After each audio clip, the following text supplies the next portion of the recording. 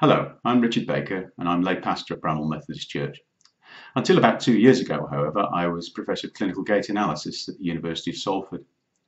I've got a physics and engineering background and gait analysis is a study of how humans walk.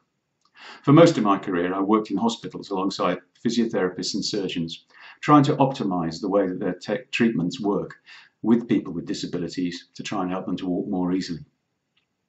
For a long time, I've been frustrated by the way Christians develop their sense of who God is with only minimal reference to science. And it doesn't really surprise me at the end of this process, we get into some quite serious and heated arguments with scientists about our conclusions.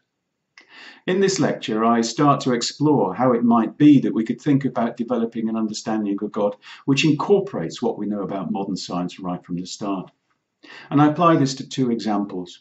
The first, the question of where is God in cancer, and the second one to how it's appropriate to pray, given what we know about how the modern world functions through science.